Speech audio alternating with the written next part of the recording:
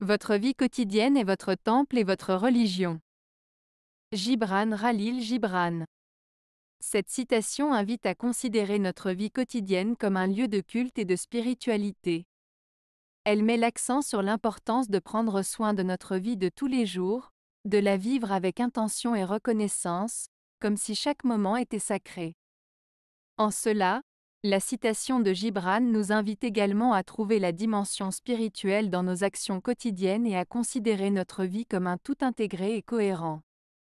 C'est une manière de percevoir le monde qui peut nous aider à trouver le sens et la joie dans les tâches les plus ordinaires.